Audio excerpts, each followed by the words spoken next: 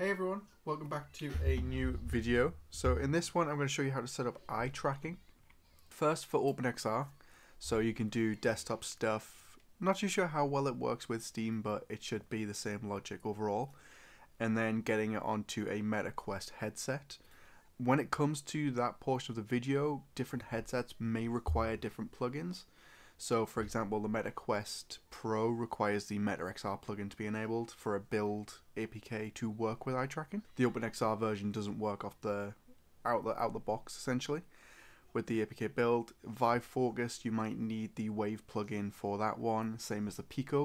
It's gonna have its own its own set of plugins, but the logic for the blueprints is gonna be the same based on all the headsets.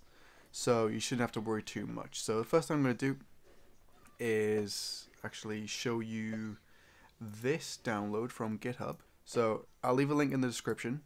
But this OpenXR eye trackers from mbucchia, hopefully I said that right, allows you to use OpenXR eye tracking through Unreal. So you don't have to install any of those plugins to test on desktop. So it's really cool. Make sure to download this, just install it. And then in my case, I'm using the Oculus Quest Pro, so I have my Oculus desktop application open or Meta desktop MetaQuest Link application open now.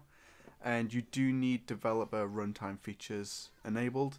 So if you don't have a developer account, you will need to set one of those up. You can do that through the Meta website. And once you've done that, you can log back into the Oculus desktop app, enable developer runtime features, and that will give you access to eye tracking over MetaQuest Link. So you can control stuff on the PC.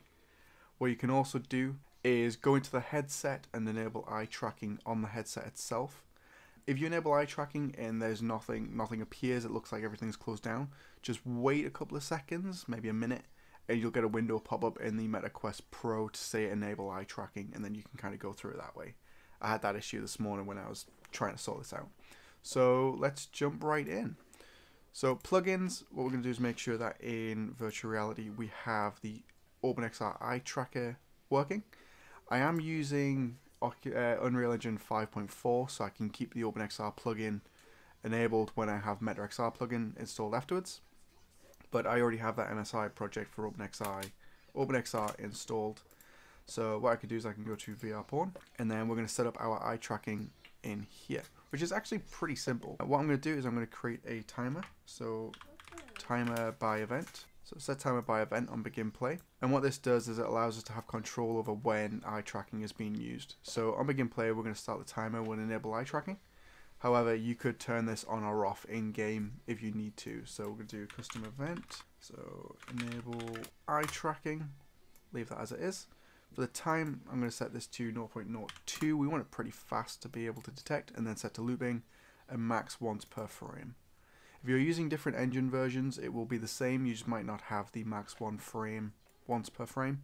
So just keep that in mind. Now what we can do is we can get gaze data, and this links to OpenXR, and then we can bring off the out gaze data and we can search for break pin. So break eye tracking, and it will give us access to all of our eye tracking data where we can then tell it to control a line trace from our pupils. So I find it easier to do a sphere trace. It gives us a little bit more accuracy. So we're going to do sphere trace by channel.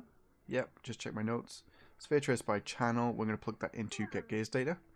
And then gaze origin is going to be our starting point of that sphere trace. Uh, we're going to make some room because I want to show you something that happens when we're in the when we're using eye tracking.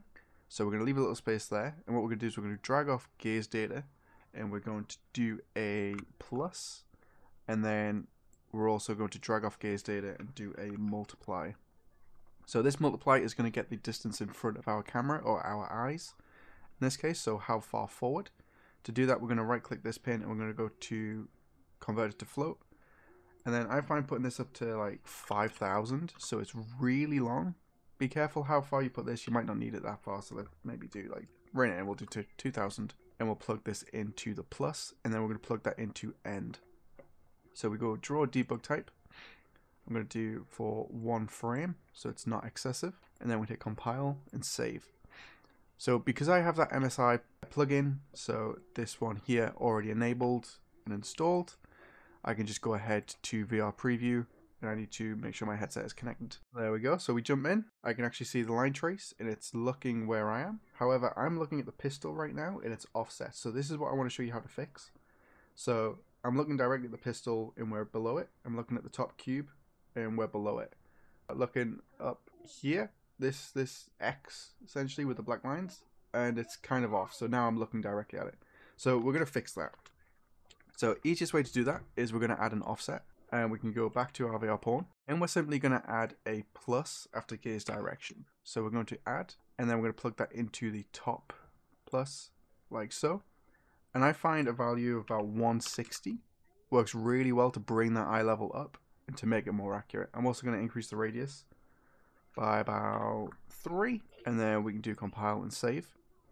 And then if we jump back in, when we get into the headset, we should find that now when I look at the cube, we hit the cube, look at the pistol, we hit the pistol, look at that X. We're pretty damn close to, to hitting the X. So this is how you can actually set up eye tracking. And it's as simple as that. Before we go on to make the eye tracking do something, we'll, we'll make it interact with an actor. I want to show you that if you're using the MetaQuest plugin, what you will need to do is enable it. So Virtuality, MetaX, and then restart. And then once this comes back, we'll go to project settings and then the MetaXR plugin section where we just need to enable eye tracking. Uh, I believe if you're using different platforms with their plugins, as previously mentioned, you will need to enable eye tracking in those as well, just so when you build the APK, it knows that it can actually use it. So project settings, we go straight down to Meta MetaXR, and all you have to do is go to here and you see Meta uh, eye tracking, eye tracking enable, and then we can enable eye tracking. So now you're pretty much done for building to the quest. If you build your APK, launch it on the headset, you'll have eye tracking all set up.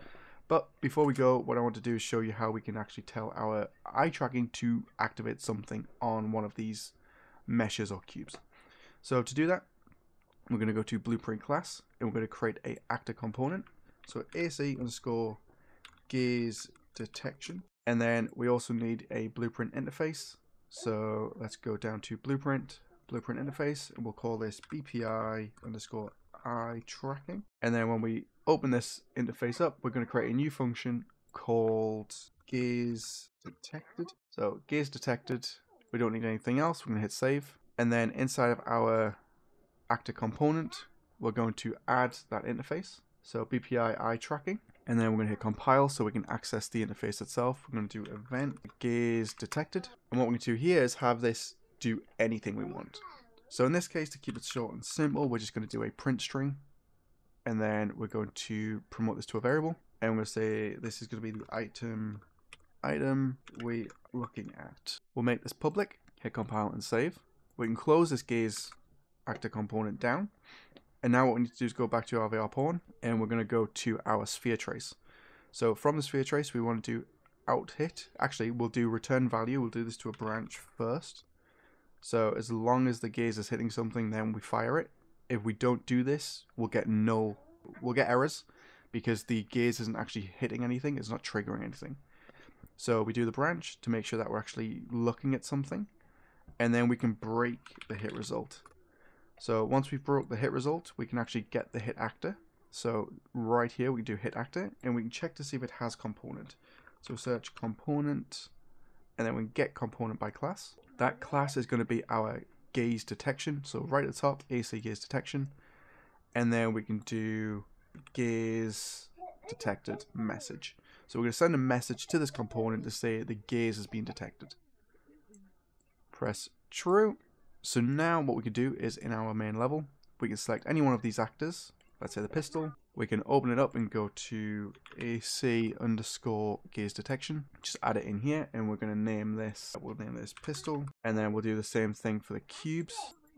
So we do gaze detection on the cubes, save, and then we can even take this as far as doing the walls. So on the walls, we could go to the static mesh add, search for gaze detection, and we'll say this is wall wall underscore 01 and then we can also add gaze to this one, a static mesh cube. So I think that's enough for an example. Static mesh cube. And then we hit save. And then if we jump in, boot right up. And then when I'm looking around, these walls don't have any actor components on them, but this one, when I look at it, we can see that it's telling us what we're looking at. So wall underscore one, and then static mesh cube, and then normal cube, and then pistol. So that's pretty much it for eye tracking. It's super simple to do. It's really easy to implement. All we've got is our VR pawn, and we have a sphere trace coming off from our gaze with a bit of an offset for our eyes. So you might want to adjust this and then the distance, but overall it's pretty much up to you how you go about it. If you're doing OpenXR and just the desktop stuff, you can just install that plugin and it will get the data from your headset and then go straight into Unreal so you can play around with it. You don't actually need to enable the MetaXR plugins unless you're building a APK file for the Quest Pro or the Vive Focus 3 needs its own Wave plugin to be enabled. So just keep that in mind, play around with it, but all the information's in here. A big thank you to everyone over on Patreon for supporting the channel and making it possible to do videos like this. If you want the name at the end of the videos the credits and you want to get download to files which not anywhere else, then make sure to head over there and check it out. Yeah, until next time, stay safe and I'll see you then. Bye.